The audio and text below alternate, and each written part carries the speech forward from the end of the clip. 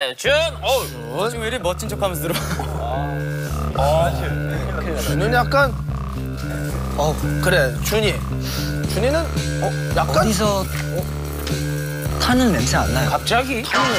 어, 어 타는 어 안 나는데 어디서? 제 신장이 타고 있잖아요. 어이?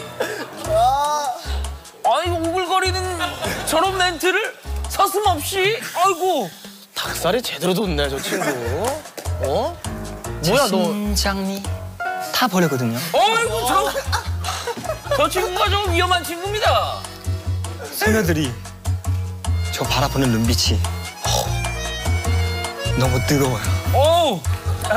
혼자 어, 이- 저 친구. 뭐 하는 거야 뭐 하는 거야? 어우. 저 친구 지금 심장이 두 번 탔습니다, 지금. 두 분 다 쓰면 뭐 심장이 멈춘 거 아니냐 뭐.